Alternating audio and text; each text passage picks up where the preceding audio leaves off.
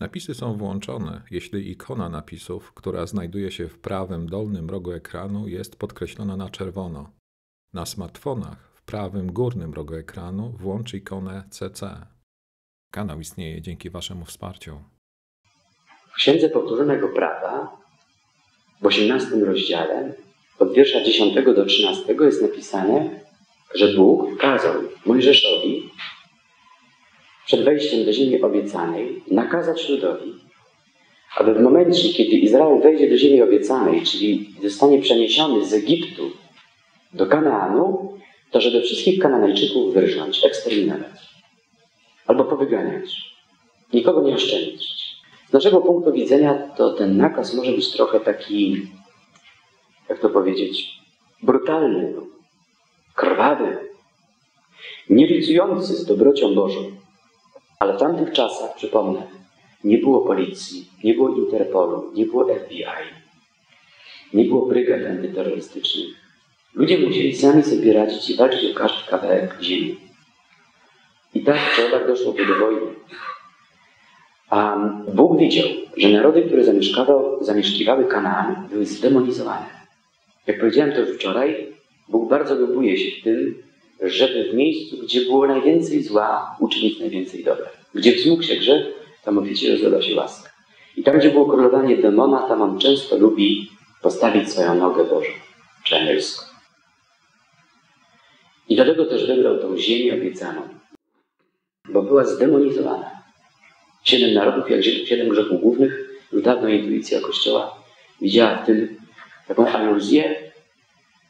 Były to narody często zdegenerowane również moralnie. Uprawiano prostytucję sakralną, kwit homoseksualizm, perwersja, aborcja.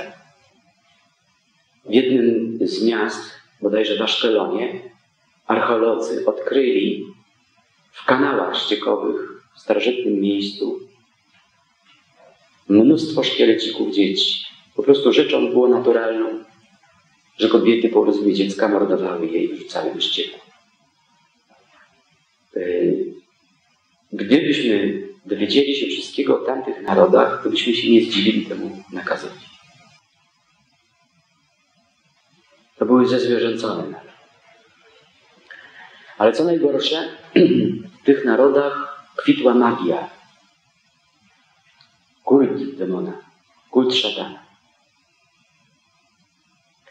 I dlatego też Mojżesz, Bóg Mojżeszowi powiedział, że jeśli do ziemi obiecanej Izrael wejdzie i nie wygoni albo nie eksterminuje tych narodów, to będzie wielki kłopot. Bo Izrael wcześniej czy później przestanie być Izraelem. Przejmie tego ducha kananejskiego. I dlatego tak czytamy. Niech nie znajdzie się u Ciebie taki, który przeprowadza swego syna czy swoją córkę przez ogień. Chodzi o pewne wróżby, pewne, pewne rytuały magiczne.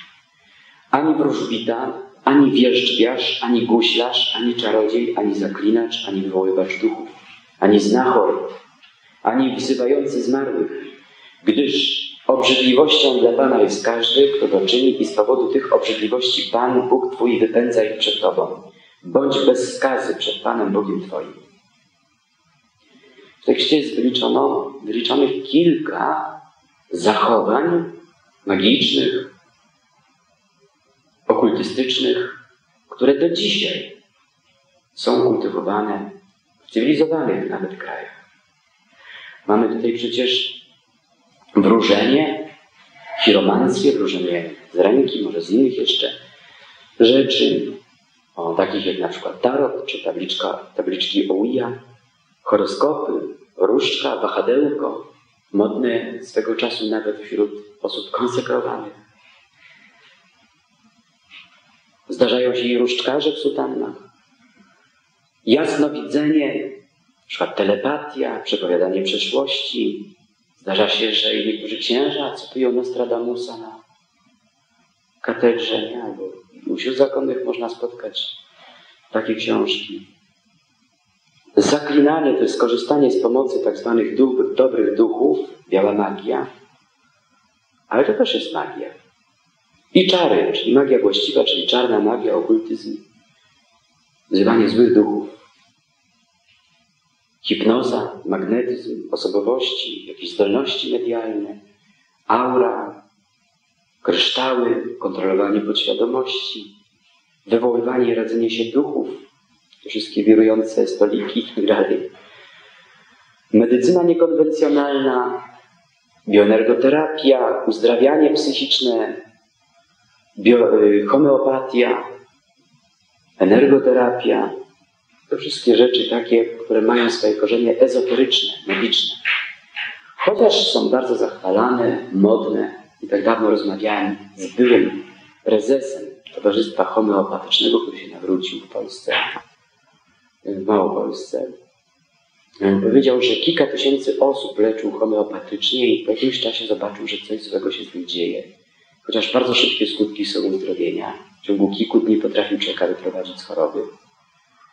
Jednak niepokoiło go to, że leki homeopatycznie yy, tworzone są często yy, produkowane w sposób prawie ezoteryczny albo ezoteryczny wprost, tylko okultystyczny. Są to już dziedziny duchowe. I że bardzo dużo lekarzy homeopatycznych to ludzie zajmujący się okultyzmem. Albo wcześniej czy później wpadają w sidła jakichś zainteresowań duchowych pozachrześcijańskich. On sam też po sobie zauważył, że ma jakieś dziwne niepokoje, nerwice, dziwne jakieś rzeczy się w nim pojawiają. Jakieś napięcia, ataki. I, no i zarzucił tę technikę zarzucił tę praktykę homeopatyczną, całe szczęście może w ostatniej chwili. Ale w tej chwili na przykład jest to zalew na całą Polskę. No i wreszcie tutaj zostało wymienionych również y, wśród tych wstręt wywołujących u Boga praktyk wzywanie zmarłych, nekromancję, spirytyzm, parapsychologia itd. Tak itd. Cóż, żyjemy w XX wieku, jesteśmy w zakonie, być może nic takiego nam tutaj nie grozi, ale właśnie może być tak, że żadnej z tych rzeczy myśmy nie używali, ale na przykład używali nasi przodkowie. I coś może się dziać dziwnego z nami. Możemy mieć jakieś dziwne skłonności do pewnych grzechów, do pewnych problemów, albo powtarzają się jakieś kłopoty w naszym życiu cyklicznie.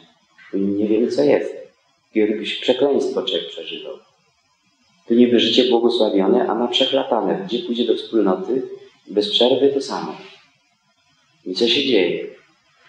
Wiadomo, że zawsze będzie jakiś krzyż, nie? ale to już może być taki krzyż, który jest już nie do zniesienia. I za bardzo Chrystusowy. Czasem się może człowiek pytać, dlaczego tak jest. I na to też jest ta odpowiedź. Że to sięgnięcie do grzechów naszych przodków może być przecięte siekierą Twojej skruchy. Że kiedy modlisz się modlitwą skruchy, też możesz uzdrowić cały korzeń rodziny albo odciąć się od chorych korzeni rodziny, jeśli weźmiesz pod uwagę te osoby, które nie pokutowały za swoje grzechy, a zgrzeszyły bardzo wobec Boga w Twojej rodzinie. Bo powiedzmy, że cień tych grzechów i na Ciebie może spadać.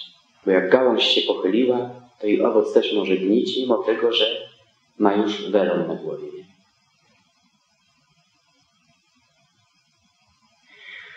Możesz sobie pomyśleć, jak więc mam pokutować za grzechy swoich przodków? Przecież nie znam ich grzechów.